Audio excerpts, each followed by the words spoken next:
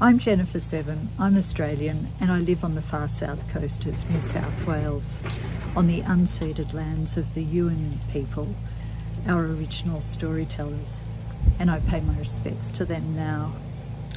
I'm thrilled and grateful to have my story titled Nobody Owns a Fire shortlisted for this year's Commonwealth Short Story Prize.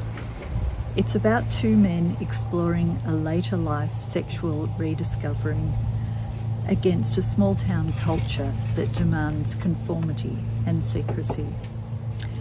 I entered it in the Commonwealth Prize because I've had some small successes here in Australia and I just wanted to spread my wings a little bit further and see what happens.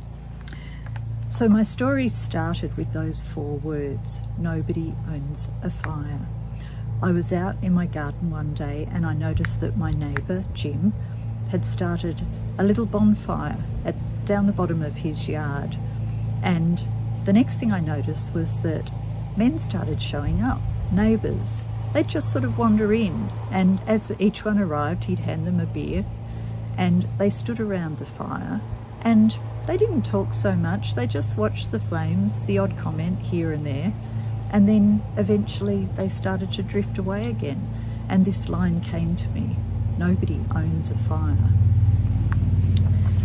So I went inside, I thought, there's a story in this, and I started writing.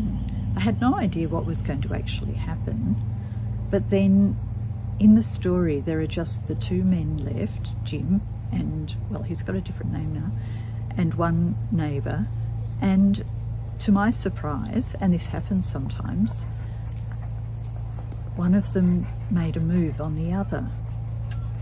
Now, I'm not a gay male and I'm not even gay, but I asked a gay friend to have a look through this story and he gave me the thumbs up.